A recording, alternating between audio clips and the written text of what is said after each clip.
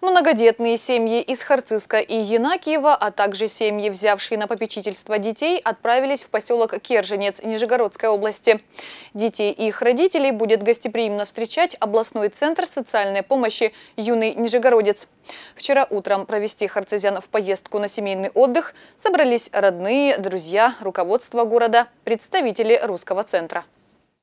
На часах начало шестого утра, а у автобуса уже вовсю кипит жизнь.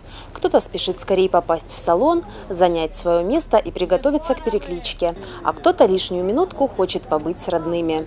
По словам директора общественной организации «Русский центр» Елены Евсеевой, программа, организованная российскими коллегами, обещает быть насыщенной и запоминающейся. Всего э, на оздоровление отправляется 130 человек.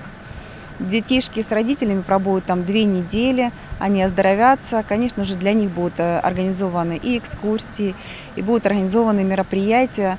И уверена, что наши дети получат массу, массу впечатлений от этой поездки. Ну и, конечно же, от себя лично и от э, всей Донецкой Народной Республики хочу сказать слова благодарности нашим коллегам из Нижегородской области за предоставленную возможность оздоровления и хочу сказать, что данная поездка состоялась при поддержке главы Донецкой Народной Республики Дениса Владимировича Пушилина и при содействии общественной организации «Русский центр». Мы очень благодарны Русскому центру, который поддерживает наши семьи. А, и я надеюсь, то, что такие поездки будут в следующем году продолжаться. А, на самом деле от этой поездки ожидается многое. А, для детей там будут и спортивные мероприятия, для родителей будут проводить э, разнообразные тренинги.